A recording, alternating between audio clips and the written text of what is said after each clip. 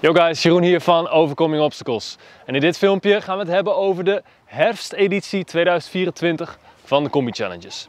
Dat zijn acht verschillende challenges die elk seizoen langskomen. En die gaan van uitdagend naar, nou ja, praktisch onmogelijk. We gaan vandaag alle challenges weer bij langslopen, dus check it out. Oké, challenge 1. Je start in baan Alpha naast vak 5 bij de schuine balkenmuur omhoog. Je klimt via de balkenmuur op het net. Direct ga je links via het verticale net weer naar beneden. Je klimt via dat net, via de lange balkenmuur en via de korte balkenmuur naar de andere kant van het vak. Dan klim je via het touwkruis verder, via de bandenstap en de klimwand ga je naar het einde van de baan. Kom je challenge 2. Je start op de lage balk voor vak 3 in baan Alpha. Daar klim je via de gele apenhang 5 meter. Dan moet je via het zwarte touw omhoog klimmen en je tikt de hoge balk aan.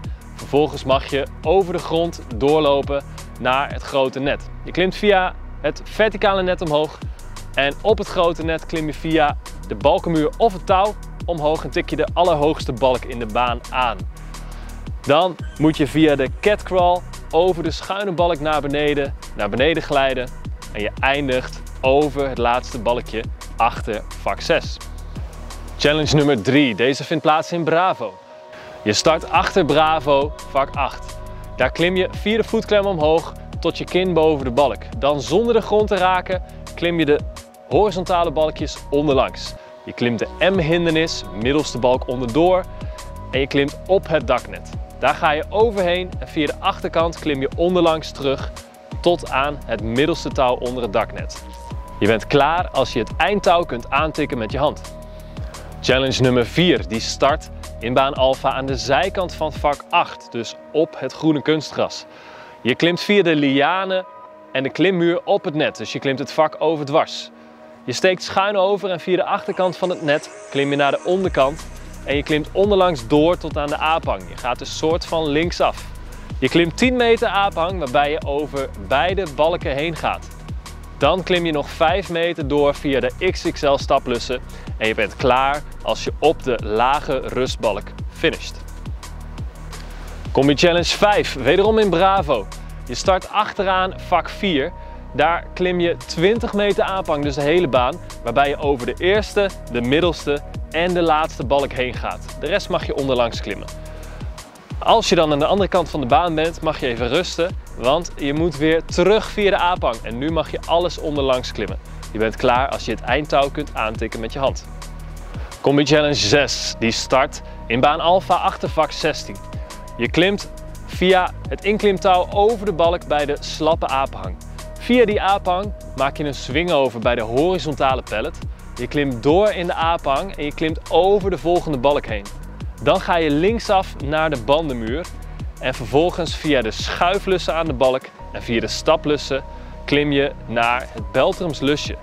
Via het Beltrumslusje maak je een swing over bij de zwevende balk en vervolgens, allemaal zonder de grond te raken, ga je rechtsaf via de lianen en je eindigt achter het rustbalkje naast vak 13. Combi Challenge 7. Deze start vooraan baan Alpha bij vak 1. Je klimt 10 meter monkey bars, vervolgens 5 meter korte touwtjes aan het boventouw. Vervolgens maak je bij de hoge balk tussen vak 3 en 4 een swing over. Je klimt door in 5 meter lianen. Na de lianen klim je het net onderlangs. Je klimt via de schuine balk apenhang naar beneden.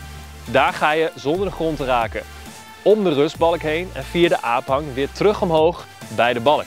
Je draait op de balk zodat je op het net komt. Daar maak je twee keer een hoge swing over via een touw. En als laatste via de gele en de zwarte aaphang klim je terug naar het begin van de baan. Je eindigt als je voeten weer op de grond staan vooraan baan Alpha. Als laatste combi challenge 8. Je start naast baan Alpha bij vak 12 bij de Spaanse ruiten met je voeten voor het begin van de balk. Je klimt via de Spaanse ruiten omhoog. Je gaat over de hoge balk heen. Uh, uiteraard alles waarbij een hoge balk is, alleen als je ouder dan 15 bent. Anders is het kin boven de balk en eronder door. Je gaat dus over de balk heen. Dan via de stapschotels ga je opzij via de staplus naar het touw. Daar tik je met je hand de grond aan en maak je een swing over.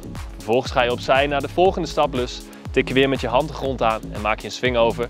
Je gaat opzij naar de rode ton, daar tik je weer de grond aan en maak je een swing over bij de ton. Elke keer als je daar een swing over maakt mag je dus niks anders gebruiken. Via de volgende staplussen ga je linksaf naar de lage balk.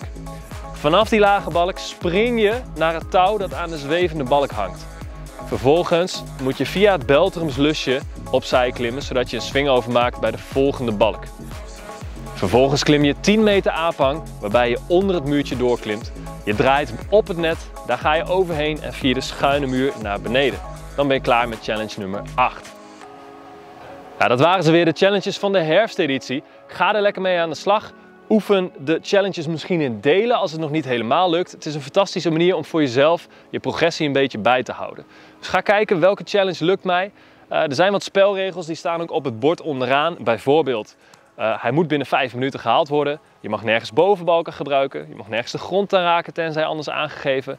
Je mag geen andere touwen of materialen gebruiken tenzij anders aangegeven.